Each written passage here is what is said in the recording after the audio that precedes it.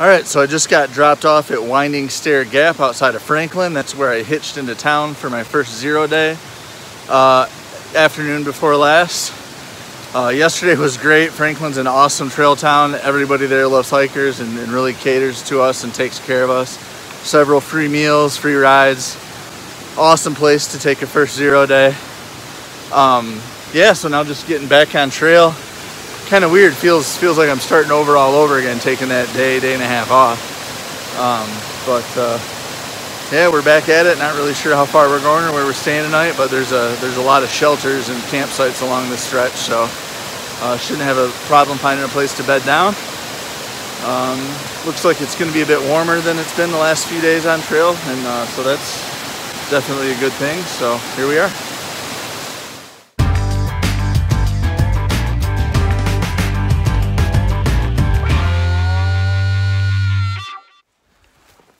Okay, yeah, this is the my first day of hiking after my first zero. Feeling super rested, legs feel great. Uh, knees are wonderful. Kind of got a new soreness on my right Achilles, but I think I just might have my shoe laced up a little tighter than I need to be. It's not blistering or anything, it's just kind of achy. Um, just not too worried about that. But uh, yeah, I think we're gonna end up pushing, making it about a 16 mile day because it's not even two o'clock yet. So that's where we're at.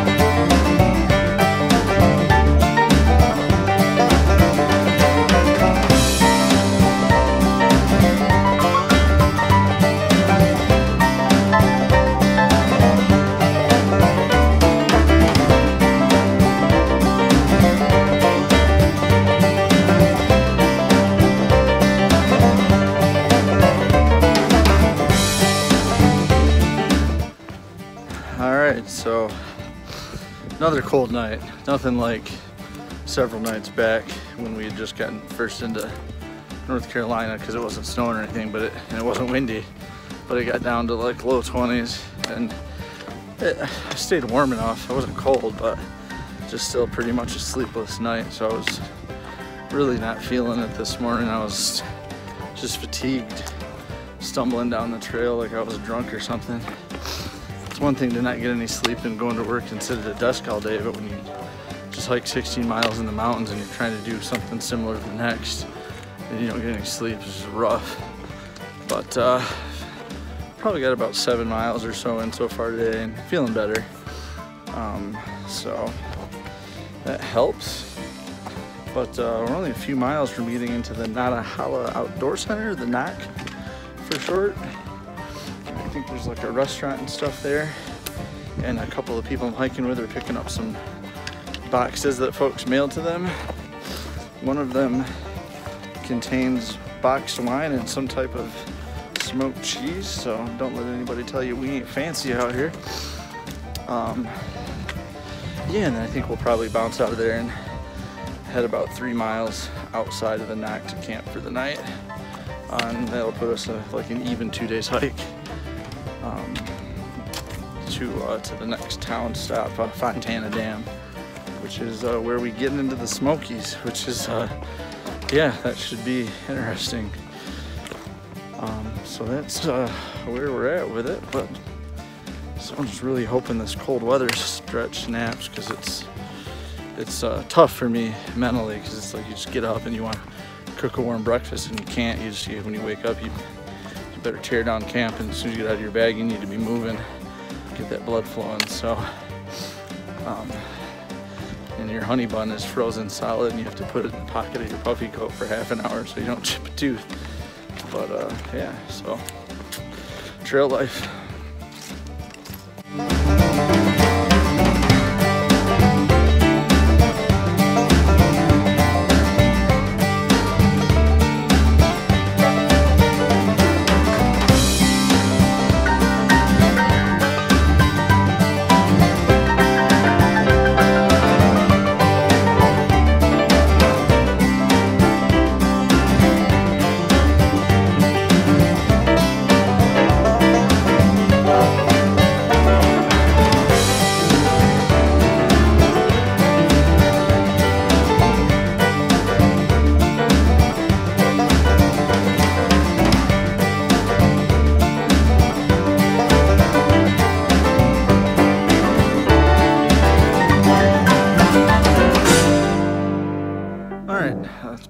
about 10.30 in the morning.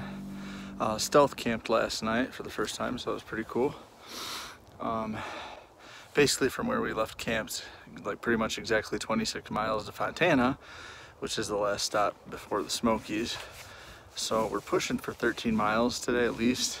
Um, it, I'd like to make it a little further than that if possible because that'll make tomorrow a bit shorter, which will be helpful for me because I've got a few things I need to get done in Fontana. I've got to resupply, make sure my battery's charged up for the Smokies, and I got to get my permit too. So I got to track down a computer and printer to, to handle that because I forgot to do that at the NOC and Top of Georgia Hostel and probably a couple other places. So yeah, so there we go.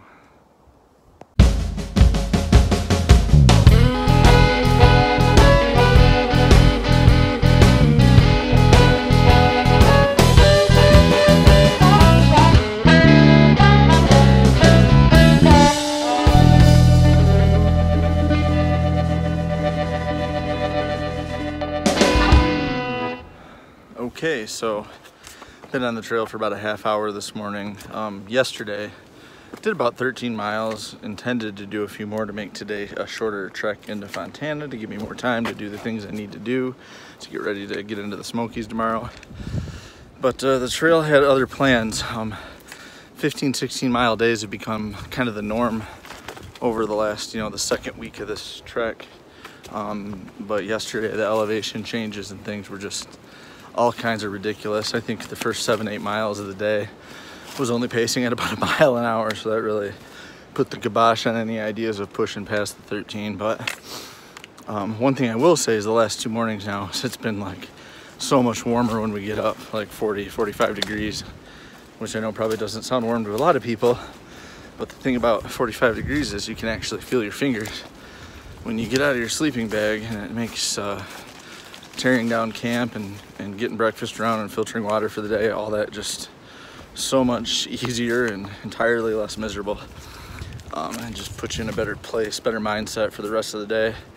So I hope that continues because that's really been the toughest part of this for me so far is those starting out your morning like that. I mean, just takes forever to just tear camp down.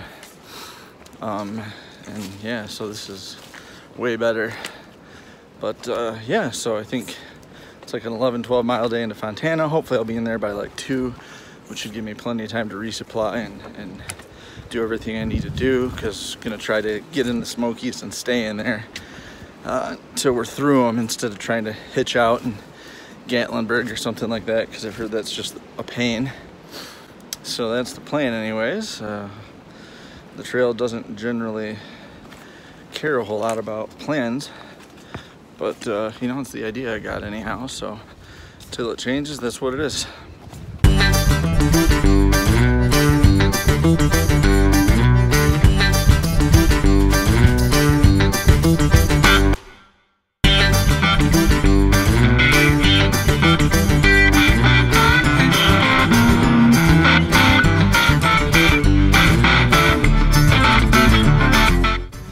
Okay, so when you're when you're walking through the woods pungent twinge of rancid wet dog, it's probably not dog.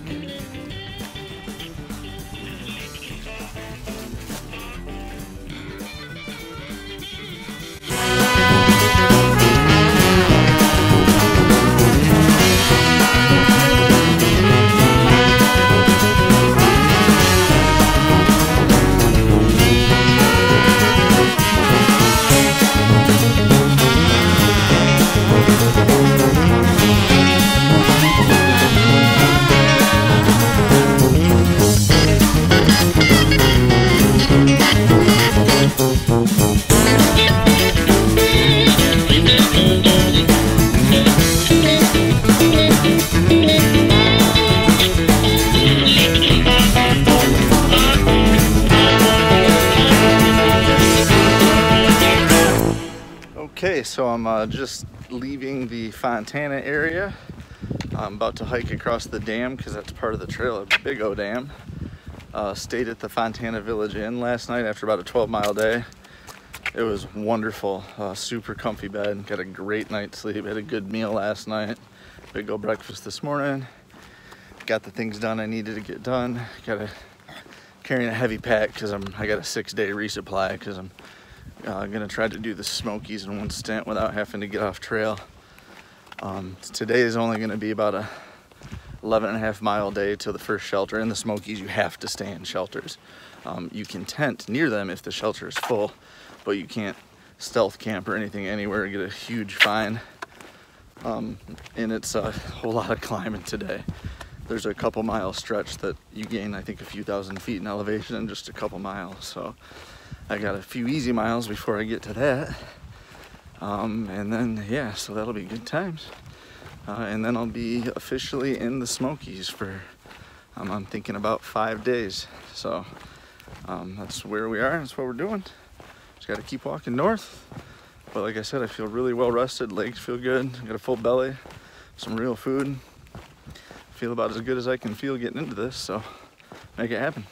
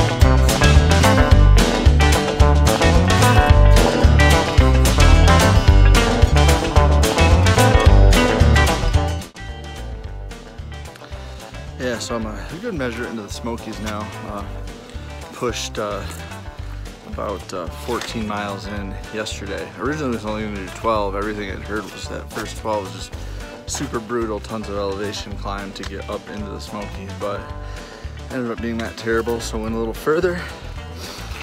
Um, I'm gonna try to do about 16 today, but it's just basically in a cloud. I mean, I guess that's why they call them the Smoky Mountains and not the uh, blue sky, sunshine, bird chirpy mountains, which would be kind of nice because I'm sure there's some fantastic views from up here, but I'll be in the Smokies for a few days, so I might get lucky and get a clear day or a clear piece of a day.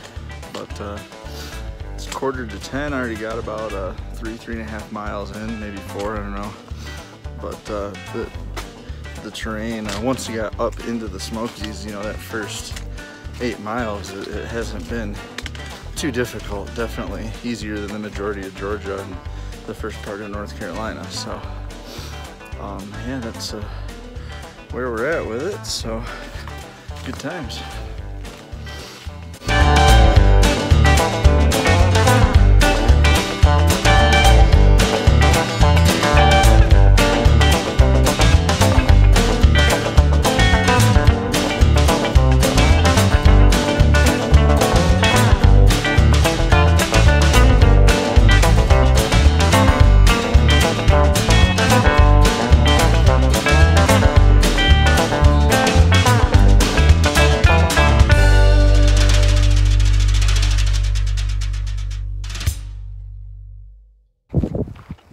Okay, so this is the early part of day three in the Smokies.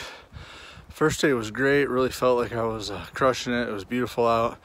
Um, despite the elevation being some of the, one of the more challenging days on trail so far, like made really good time, good mileage. And then, and then yesterday happened, the, the script got flipped and the Smokies did the crushing. Um, barely made it just under 12 miles even though I hiked from like 8.30 till 5 o'clock at night. And it was just like mid 30s and sleeting and raining and hailing all day. And the terrain was just like not a lot of huge elevation changes but just like a few hundred feet straight up straight down straight up straight down. And it was really muddy so it was just like every step was calculated and slipping and it was just very difficult. So um, so that happened but so far today is much, much nicer. Blue skies, sun's out. Uh, still pretty chilly, but it's supposed to warm up. Let's give it a chance. It's barely 10:30, so I'm uh, maybe like three and a half miles into my day. Clingman Dome is coming up though, so that'll be cool. It looks like I'll actually get a get a good view from Clingman's, which a lot of people don't get because it's often cloudy and smoky in the Smokies. Um, so that'll be uh, that'll be a stroke of good luck compared to yesterday. So that's the way she goes. Okay, so just leaving uh, Clingman's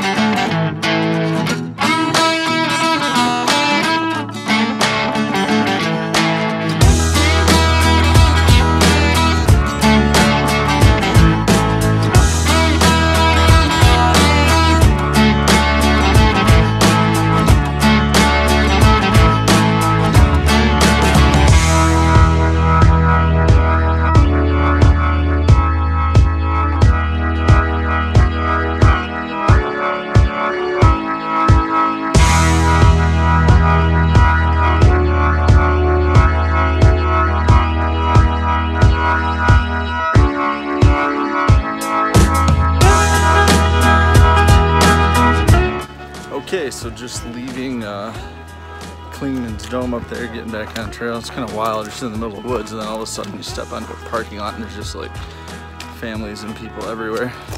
You smell laundry detergent from like 300 yards away.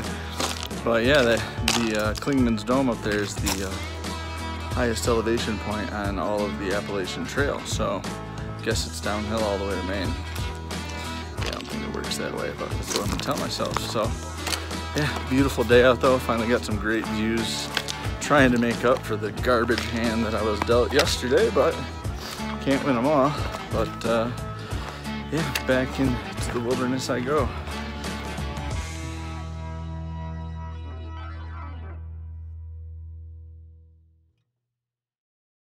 Sit, Soze, sit. Good boy.